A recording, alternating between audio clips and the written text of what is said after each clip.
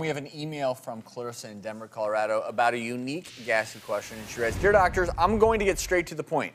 My gas gets stuck. Sometimes, if I hold in my gas for too long, it's hard for me to release it later. It can be downright painful. How do I get that trapped gas out? And we've all heard of it gas pain. Absolutely. Got gas pain. Well, what's interesting about the intestine is that the nerves of the intestine coil around it. So when the intestine is stretched, that's what causes pain. So That your hurts. intestine, that hurts a lot, as mm-hmm. opposed to a little bit.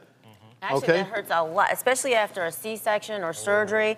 When you want the bowel function to come back, that's like when you said when you don't pass gas, it can be a, a problem. We wait for you right after surgery to pass gas. That's a good sign that everything's working right.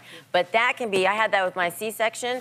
Oh, Super that can be painful. so painful. So oh, don't hold it in. It may not be polite. Find a way to make it polite. All right? don't hold it in. If you do have a lot of gas, try to massage it a little bit. Movement also helps. The final thing, Just let it go. yeah, just let it Let it go. Just let it go. I think that's where people go during yoga class. They go and Well, you know, speaking of yoga been able to get it out and you know, there are things you can do. You know, absolutely mm-hmm. squatting, Yeah, you, you can know, you like lay on your back and do a little pull your bicycle leg kick. up. And And just Or you can do that with you kids. think I'm kidding? It actually can get things moving. that's why in yoga class, make sure you're in front. Oh my goodness.